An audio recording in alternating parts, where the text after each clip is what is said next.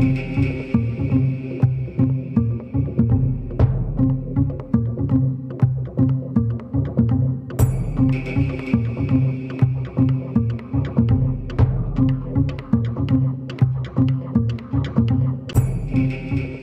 swamps have unique, amazing ecosystems that are formed when layers of dead plant material build up and are flooded by fresh water. The peat swamps that we've been looking at are mostly on the islands of Borneo, Sumatra and Peninsula Malaysia.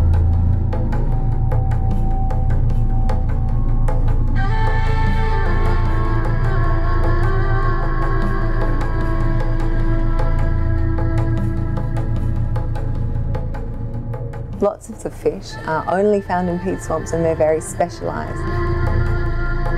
Most of them are quite small and many of them also have the ability to breathe air. These waters are very acidic and often have very low oxygen content. So many of the fish have evolved over time to be able to deal with these quite harsh, difficult conditions.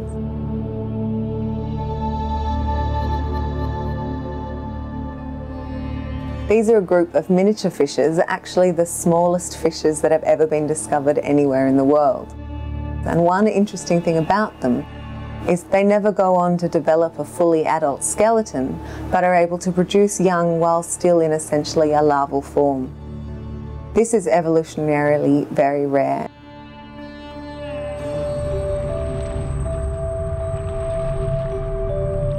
The male fish comes and cleans a space on the bottom of an underside of a leaf and he and the female come together in a quick embrace where only one or two eggs are released that then adhere to the undersurface of the leaf.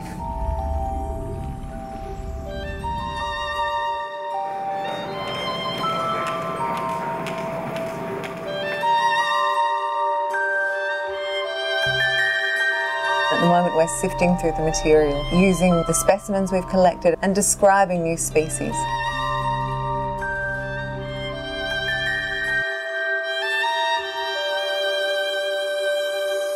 So far, estimates suggest that perhaps 60% of peat swamps have already been converted to other land use.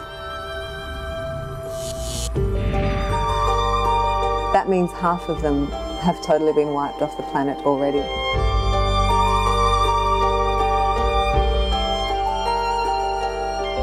We're looking at perhaps 70% of all these uh, unique fish fauna extinct forever by 2050. Unless conservation is widespread, we are bound to lose many important and unique evolutionary lineages. I'm hopeful that we won't lose everything, but we are going to lose a lot.